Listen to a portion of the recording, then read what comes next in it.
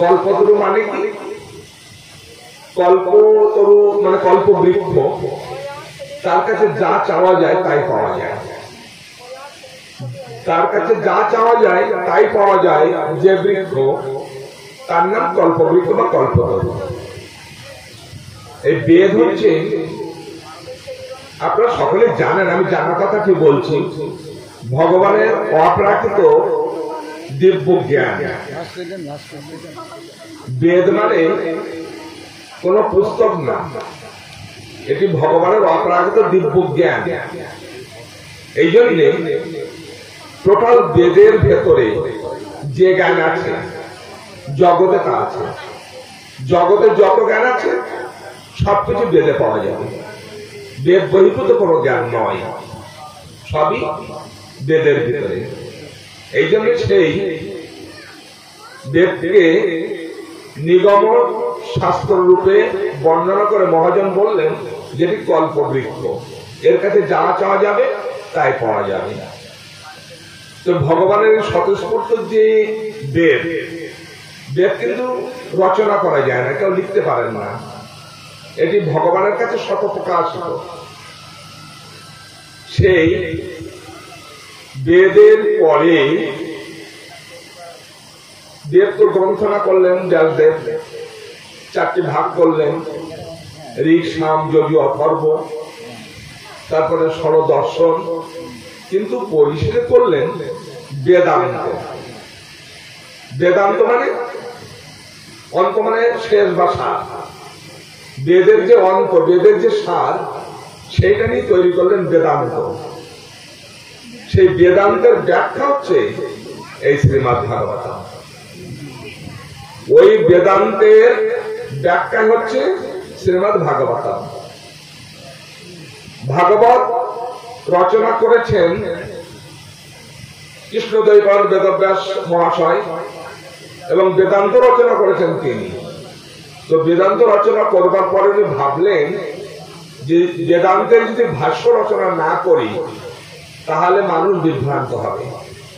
তাই মানুষকে যথাযথ জ্ঞান দান করার জন্য বেদান্তের ভাষ্য রচনা করলেন নারদ ঋষির উপদেশে কৃষ্ণদৈতানন্দ বেদব্যাস মহাশয়, যে গ্রন্থটির নাম হচ্ছে ভাগবতম। এই ভাগবতম যদিও ব্যাসদেব রচনা করেছেন যে জগতে প্রচার হয়েছে তারই পুত্র সুখদেব গোস্বামীর দ্বারা। কীভাবে? তো আপনারা জানেন পঞ্চ পাণ্ডবের কথা। যুধিষ্ঠির ভীম, অর্জুন নকুল সহদেব। এদের মধ্যে অর্জুন পুত্র ছিলেন অভিমন্যু। যখন কুরুক্ষেত্রের যুদ্ধ হচ্ছে, তখন একদিনের সেনাপতি অভিমন্যু। সেদিনে সপ্তরথী চক্রব্যূহ রচনা করেছে। অভিমন্যু চক্রব্যূহ ভেদ করতে জানতেন, অন্য কেউ জানতেন না জানতো অর্জুন অর্জুন গিরিয়েছিলেন না। অভিমন্যু দায়িত্ব নিলেন চক্রব্যূহ ভেদ করে যুদ্ধ করবার জন্য। কিন্তু অভিমন্যু মাতৃ গর্ভে থেকে যখন অর্জুন সুভদ্রাকে এ কাহিনী শোনাচ্ছিলেন, তখন তিনি মাতৃ গর্ভ থেকে শুনেছিলেন। যখন নির্গমনের কথা অর্জুন বলেছেন তখন সুভদ্রা ঘুমিয়ে গেছেন তাই অভিমন্যের নির্গমনের কথা জানা হয়নি। মা ঘুমিয়ে গেছেন তো যাই হোক, সে অভিমন্যু সপ্তরথী কর্তৃক বেষ্টিত চক্রবিহে প্রবেশ করে যুদ্ধ করে সেখানে সপ্তরথীর আক্রমণে, একত্রে আক্রমণে, যেটি যুদ্ধনীতি নয় সে যুদ্ধনীতি লঙ্ঘন করে তারা অভিমন্যুকে নিহত করলেন। যখন অভিমন্যু নিহত হলো, তখন অভিমন্যের স্ত্রী উত্তরা, তিনি গর্ভবতী। তার গর্ভে একটি সন্তান আছে। ওই সন্তান নষ্ট করবার জন্যে, পাণ্ডবদের ধ্বংস করবার জন্যে দ্রোণাচার্যের পুত্র অশ্বক্ষমা একটা ব্রহ্মাস্ত্র নিক্ষেপ করলেন। ওই ব্রহ্মাস্ত্র উত্তরার গর্ভ নষ্ট করবে। তো যখন ভগবান শ্রীকৃষ্ণচন্দ্র দেখলেন যে অশ্বত্থমা কর্তৃক ব্রহ্মাস্ত্র নিক্ষেপিত হয়েছে, যেটি উত্তরার গর্ভ নষ্ট করবে, তখন তিনি তার সুদর্শন চক্র পাঠিয়ে দিলেন, যাও উত্তরার গর্ভ রক্ষা করো এবং পরীক্ষিতকে রক্ষা করো। সুদর্শন চক্র গেলেন। অশ্বত্থমা কর্তৃক নিক্ষিপ্ত যে ব্রহ্মাস্ত্র, সেটিও এসে গেছে। তখন ব্রহ্মাস্ত্র তার কাজ করবে, সে তো অব্যর্থ। সুদর্শন চক্র বলছে দাঁড়াও কি হয়েছে? তা তুমি ফিরে যাও। তো বলছে, প্রভু, আমি তো অব্যর্থ। তাহলে হ্যাঁ সকলে জানে তুমি অব্যর্থ, কিন্তু তুমি এখন স্থগিত থাকবে। এখন তুমি কার্যকরী হবে না। যথা সময় কার্যকরী হবে, এখন তুমি ফিরে যাও। সুদর্শন চক্র অশ্বত্থমার সেই ব্রহ্মাস্ত্র স্থগিত করে দিলেন। উত্তরার গর্ভ রক্ষা হলো। সেই গর্ভ থেকে যিনি ভূমিষ্ঠ হলেন, তিনি এই জগতের পরিভাষায়, জগতের পরিমণ্ডলে পরীক্ষিত। তাই তার নাম হল পরীক্ষিত। ভগবান কর্তৃক, সুদর্শন চক্র কর্তৃক পরীক্ষিত পরীক্ষিত মহারাজ উত্তরার গর্ভ থেকে ভূমিষ্ঠ হলেন। মাতা সুভদ্রা, মাতা উত্তরা, পরীক্ষিতকে যথাযথভাবে মানুষ করলেন, রাজা করলেন এবং যখন পঞ্চপাণ্ডব সশরীরে সদ্বারোহণ করবার জন্য গমন করলেন, তখন হস্তিনাপুর ইন্দ্রপ্রস্থ এর দায়িত্ব দিয়ে গেলেন পরীক্ষিতের উপরে। সেই পরীক্ষিত শশাগরা পৃথিবীর অধীশ্বর হলেন। এ সময় ভগবান শ্রীকৃষ্ণচন্দ্রের অপ্রকট লীলা করবার সময় সমাগত হলেন। ভগবান ধরাধাম পরিত্যাগ করবেন এবং দাপর যুগ শেষ হবে, এরপর কলিযুগ শুরু হবে। যখন কলিযুগ শুরু হবে, কলি মহাশয়, কলি মহারাজ এসেছেন, কিন্তু প্রবেশ করতে পারছেন না। তখন উনি ভাবলেন শাসাগরা পৃথিবীর অধীশ্বর পরীক্ষিত মহারাজের উপরে যদি আমি নির্ভর করতে পারি, তাহলে আমি নিশ্চয় আত্মপ্রকাশ করতে পারব। সেভাবেই আমি সংক্ষিপ্ত করে যাচ্ছি। পরীক্ষিত মহারাজের মাধ্যমে কলি প্রবেশ করলেন আমাদের এই ধারাধামে। শুরু হয়ে গেল কলিযুগ। কলির অনেক দোষ। সে সমস্ত দোষের আগার। গুণও আছে, সেটা পরে। তো সেই কলি নিজেকে প্রকাশ করবার জন্যে পরীক্ষিত মহারাজের উপরে নির্ভর করে, পরীক্ষিত মহারাজের হৃদয়ে মৃগয়ায় যাওয়ার জন্যে একটা অনুপ্রেরণা সৃষ্টি করলেন। পরীক্ষিত মহারাজ শাসাগরা পৃথিবীর অধীশ্বর পরম ভক্ত, প্রজাবৎসল দীনবৎসল এবং পরম দয়ালু তার পক্ষে মৃগায় যাওয়াটা শোভন নয়।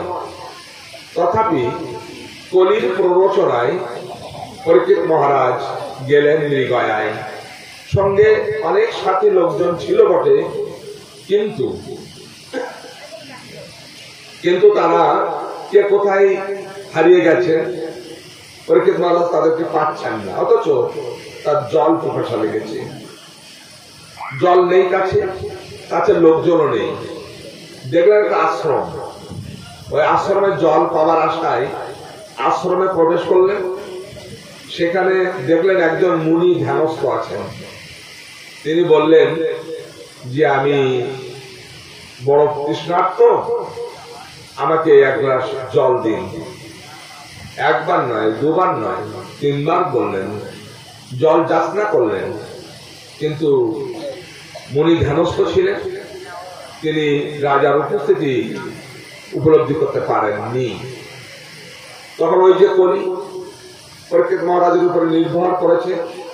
সে কলি পরীক্ষিত মহারাজের উপরে একটা অহংকার সৃষ্টি করে দিল।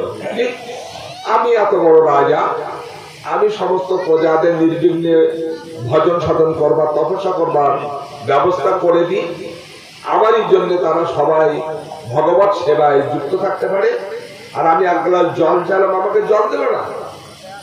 পিছনে ফিরে থাকে একটা মৃত সর্প। ওই সর্পটাও করল তখন ওই তীরের যে তুন তুলে করে সর্পটা, মৃত সর্পটি নিয়ে মুনির গলায় পেঁচিয়ে দিয়ে তিনি ওই স্থান পরিত্যাগ করলেন। মণিপুত্র শৃঙ্গী একটু কাছেই সমবয়সী বালকদের সাথে খেলা করছিলেন। তিনি ফিরে এলেন গৃহে এসে দেখেন পিতার গলায় মৃত সর্প ঝুলছে। তখন তিনি বললেন, কি ব্যাপার? এমন গরিব কর্ম কে করল? আমার পিতা একজন ঋষি, তার গলায় মৃত সর্প পেঁচিয়ে দিয়েছে, কোন আহ্মক করেছে? যেই করুক, আগামী সপ্ত দিবস পরে তক্ষক দংশনে তার মৃত্যু হবে অভিশাপ। ব্রহ্ম অভিশাপ আচ্ছা মণিপুত্র ব্রহ্ম অভিশাপ দিলেন কেন? মহাজন বলছেন, ওই যে দ্রোণাচার্যের পুত্র অশ্বতমা কর্তৃক নিক্ষেপিত যে ব্রহ্মাস্ত্র, সেদিন স্থগিত ছিল, আজ সেটি ক্রিয়াশীল হলো। বলেছিল যে তুমি এখন স্থগিত থাকবে, যথাসময় কার্যকরী হবে। আজ আবার সেই ব্রহ্মাস্ত্র ব্রহ্ম সাপ রূপে, এই মুনিপুত্র কর্তৃক সেইটি তার উপরে বর্ষিত হলো। এখন এই অভিশাপ বাণী উচ্চারণের সাথে সাথে মুনির ধ্যান ভঙ্গ হয়ে গেছে। তিনি হাহাকার করে, আরে আরে, কি করিস কি করিস? কি, কাকে অভিশাপ দিলি? তখন সে বলল, তিনি ধ্যানে সব জানতে পারলেন।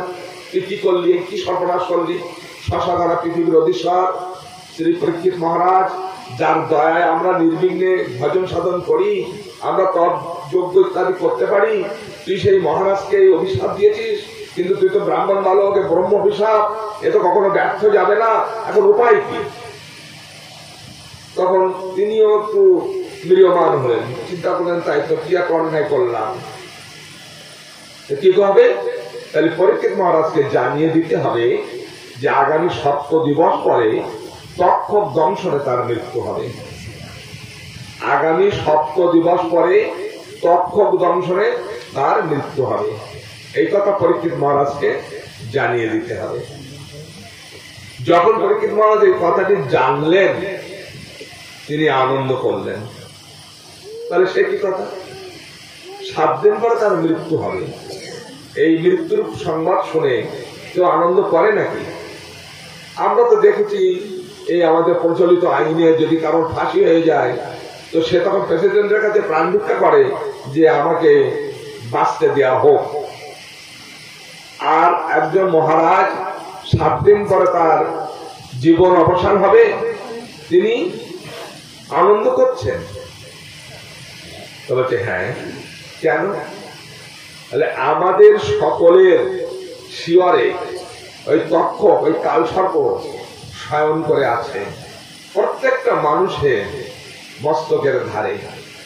আমরা জানি না সে দিনটি কবে আর আমরা জানি না বলে আমরা নিশ্চিন্তে এই আহার নিদ্রা ভাই বৈঠন দিয়ে জন্ম, মৃত্যু জরাব্যাধি চক্রে আবর্তিত হবার জন্য কামনা, বাসনায় জর্জরিত হৃদয়ে আমরা এই অনিত্য জল সুখ ভোগে এই মোহে ছুটে চলেছি দিনান্তপাত করে চলেছি। কিন্তু সকলের শিওরে ওই কাল সর্প, ওই তক্ষ অবধারিত ভাবে আছে। কবে থেকে আছে? তাহলে যেদিন জন্ম হয়েছে সেই দিন থেকে। যেদিন জন্ম হয়েছে, সেদিনই মৃত্যুদিন লেখা হয়েছে। অতএব মৃত্যুদিন কবে হবে সেটি নির্ধারিত। সেই দিন সেইখানে সেই জায়গায় আমাকে উপস্থিত হতে হবে। একজন ব্যক্তি জ্যোতিষী বলছে যে, তোমার তো সর্পদংশনে মৃত্যু আছে। অমুক দিন, অমুক সময়। তো বলছে, ঠিক আছে, অমুক দিন, অমুক সময় আমার সর্পদংশনে মৃত্যু হবে। যাতে না হয় তার ব্যবস্থা করব। অর্থাৎ সেই সর্পটাকে যেখানে তাকে দংশন করবে, সেই জায়গাটা ঘিরে এমনভাবে পাহারায় থাকল যে সর্প যেন তাকে দংশন করতে না পারে। তো যত সময় সর্প এসেছে, তো এইবার ওই সর্পটাকে যে সমস্ত লোক পাহারায় ছিল, তারা মেরেও দিয়েছে। তখন ওই লোক বলছে, যে কি ব্যাপার? জ্যোতিষী বলেছিল, আজকে এই সময় আমার সর্প ধ্বংসের মৃত্যু হবে, কই হলো না তো? বরং সর্প নিজেই মরে গেল। এই কথা বলে তখন সর্পের কাছে যে বলছে কিরে তুই নাকি আমাকে দংশন করবি? বলে তার মুখে লাথি মেরেছে। লাথি মারার সাথে সাথে ওই যে বিষ দাঁত ওটা পায়ে ফুটে গেছে। আর পায়ে ফুটে যাওয়া মানে ওই বিষ তার শরীরে ঢুকে যাওয়া। তো নির্ধারিত সময়ে সেটা ফলপ্রসূ হলো। তো যাই হোক, আমাদের সকলেরই শিওরে আছে এই কাল সর্প। আমরা জানি না, তাই আমরা মোহে, মোহগ্রস্ত হয়ে মায়ার সংসারে আবদ্ধ থাকি। কিন্তু পরীক্ষিত মহারাজ কি করলেন? তার পুত্র জন্মেঞ্জয়ের হাতে সমস্ত রাজ্যভার অর্পণ করে আর পিছনে ফিরেও তাকালেন না। সোজা চলে আসলেন একেবারে অন্দরমহল থেকে গঙ্গা তীরে। গঙ্গা তীরে তিনি প্রায় প্রবেশন করলেন। সেইখানে গঙ্গা তীরে তিনি প্রায় প্রবেশন করে সেখানে সমস্ত মুনি ঋষিদেরকে ডাকলেন, আপনারা আসুন। কি হয়েছে মহারাজ? তাহলে আমার আয়ুষ্কাল আর মাত্র সাত দিন। সাত দিন পরে আমি দেহ, আমার দেহের অবসান হবে। আপনারা এমন কিছু বলুন যাতে আমার পরম মঙ্গল হয়। তা পরম মঙ্গল মানে স্বয়ং যে ভগবান, যে ভগবানের পাদপদ্ম পাবার জন্যে কত যোগীন্দ্র, কত মুনীন্দ্র, কত তপস্বী জন্ম, জন্মান্তর ধরে চেষ্টা করছেন, সাধনা করছেন, ভজন করছেন, কিন্তু ধরতে পারছেন না, নাগাল পাচ্ছেন না। সেই গোবিন্দ পাদপদ্ম লাভ করা এটা যে তার জন্য, এটা তার অভিষ্ট, তার পরম মঙ্গল প্রদ এখন এই মঙ্গলপ্রদ ভগবত চরণ পাবার জন্যে কি এমন কর্ম আছে যার দ্বারা তিনি তা লাভ করতে পারেন? সময় মাত্র সাত দিন। তো তখন বিভিন্ন মুনি ঋষি যারা ছিলেন, তারা বিভিন্ন প্রকার উপদেশ করছেন, কেউ যজ্ঞ করবার কথা বলছেন, ইত্যাদি ইত্যাদি। কিন্তু মহারাজের মনোপুত হচ্ছে না, কারণ তা তো অনেক সময় সাপেক্ষ। কেউ বলছে দান ব্রত করুন, কেউ বলছে যজ্ঞ করুন ইত্যাদি। তো বলছে, দেখুন, আমার তো সময় মাত্র সাত দিন। এই সাত দিনের ভিতরে এমন কি কাজ আছে যা করলে আমি পরম মঙ্গল আমার পরম মঙ্গল লাভ হবে?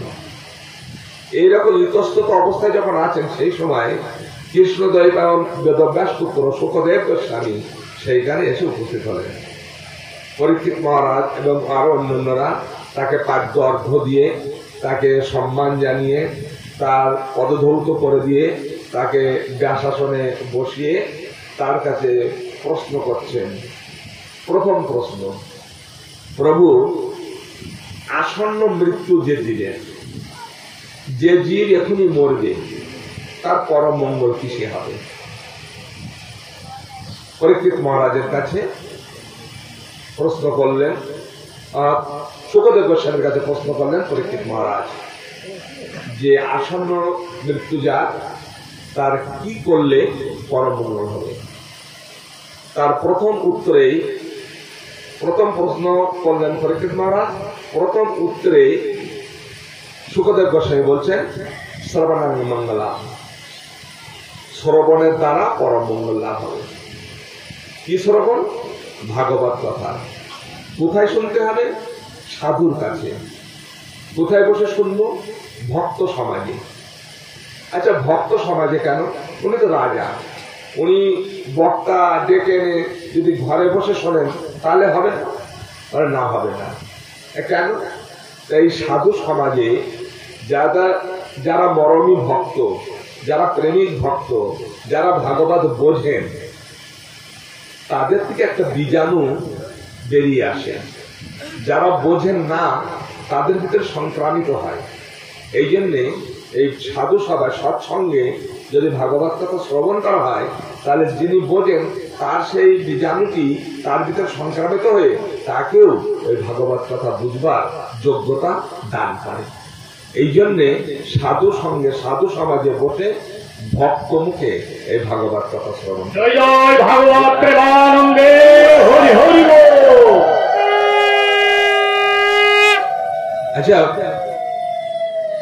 আচ্ছা ভক্ত মুখে কেন?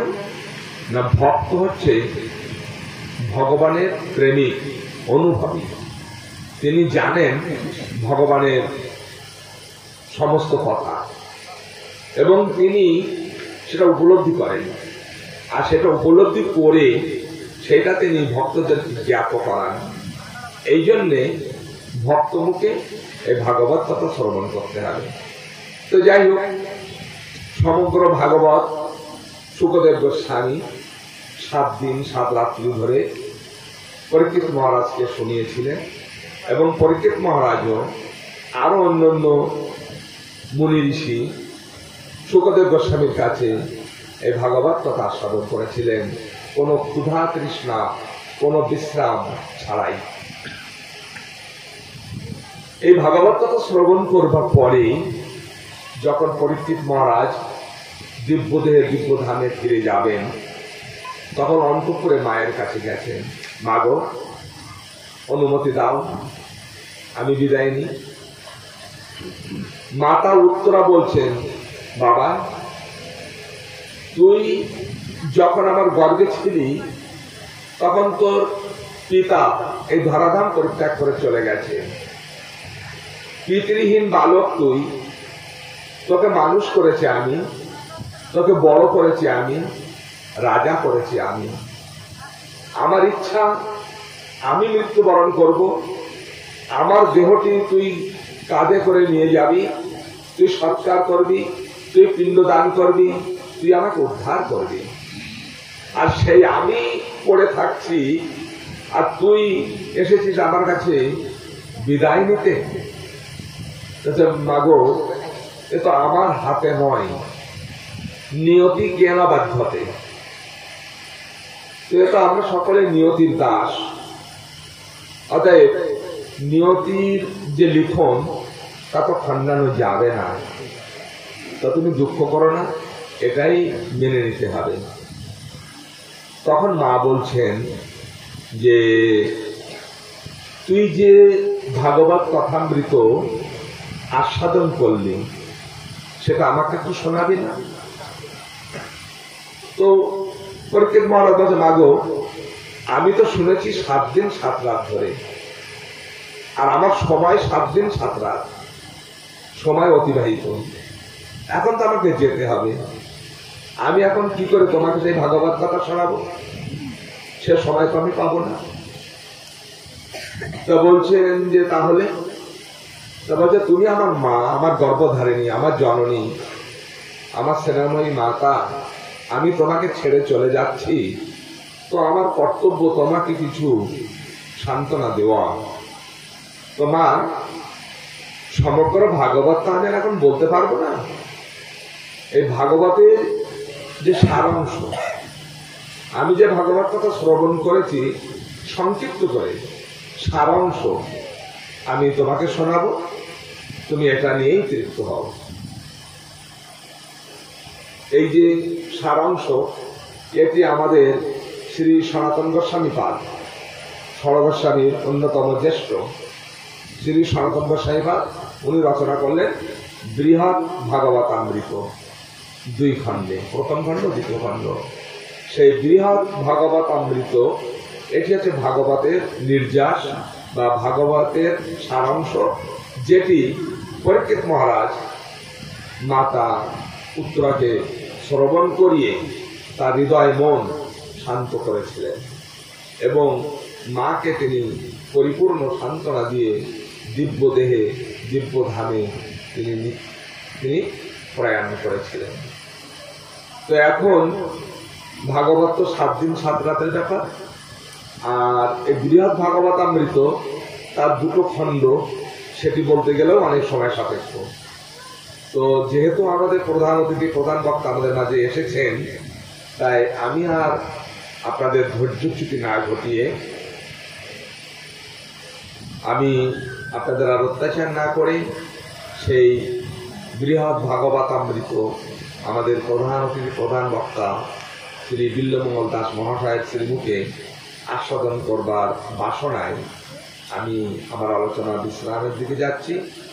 তবে শেষে এইটুকু বলি যে আমাদের সকলেরই আমাদের সকলেরই ভগবত চরণে প্রগতি জানানো দরকার।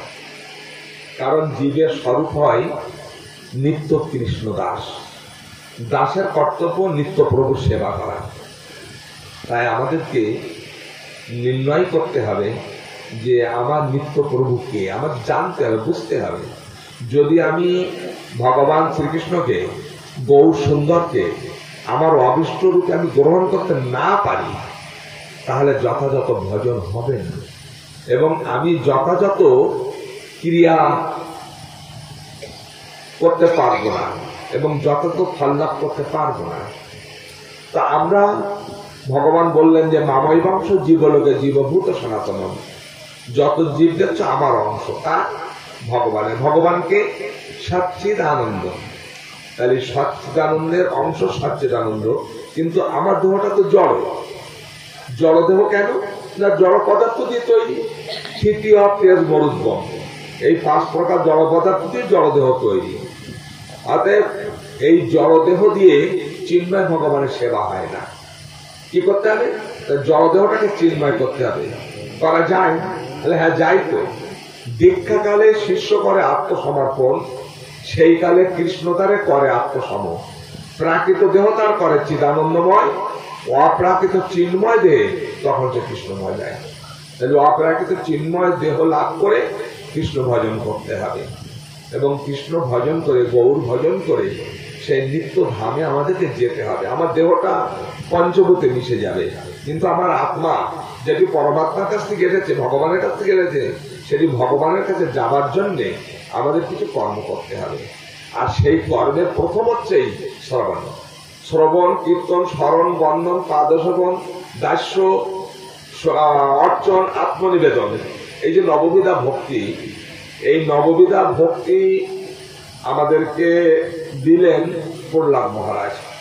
তার আগে ভাগবত আমাদেরকে দিয়েছে চৌষট্টি প্রকার সেবার অঙ্গ।